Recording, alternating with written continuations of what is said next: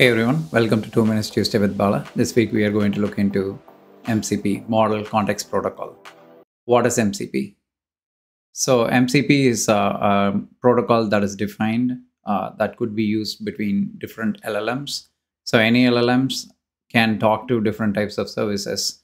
They made this as a, a common protocol. Uh, protocol is nothing but it uses uh, RPC or HTTP to talk, and then it also uses JSON 2.0 uh, to interact between services. The client talks to the server and tries to get all the information, what it is supporting. And then eventually, whenever a user is making a query, it is able to convert that and see what services it could use from the MCP server, decides and makes those calls, get the data back in JSON, convert it back into a human readable format. Simple as that. Why do we really need MCP? MCP is nothing but like you can consider that as a USB-C uh, for your LLMs. So your LLMs can directly interact with, in layman terms, different types of devices. So what are the major advantages of using MCP? It has pre-built integrations. So MCP can directly interact with all of your services through the MCP server uh, for each service. The second one, it's a lot of flexibility, which gives you, uh, you can switch between different LLM providers. Third one, is security. So it, it secures your data within your infrastructure. Key terminology MCP host is nothing but your uh, desktop application. In this case, it can be Claude Desktop or VS Code or Cursor. MCP client, uh, that's the protocol that is used between your MCP host and your MCP server.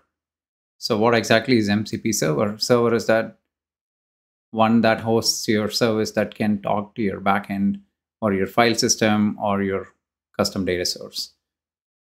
Local data sources are the computer files, data sources, or databases that are accessible. The last one is remote services. If it needs to talk to an external service, pull some data, in this case, like it can use that, basically some API calls or anything like that. So the architecture, you can see the MCP client being Claude Desktop or Visual Studio Code. And then you have different types of MCP servers. In this case, I'm taking example of a, a Gmail, Slack, or Salesforce. Um, so anytime you put in a prompt uh, and then it goes to the MCP client, and the MCP client would be able to talk back to the MCP server using the model context protocol to a dedicated service can talk back to the system, get the data it needs, and then give it back to the LLM. And that could convert it back into the human readable format. In this case, you can see your MCP client being your USB C hub, and that can be connected to different types of devices. And that's how it can talk. So it's more like a unified protocol that any devices can to talk to each other, like USB drive. So in this case, any different LLMs can talk to any of the MCP server. And this is being backed with all major players.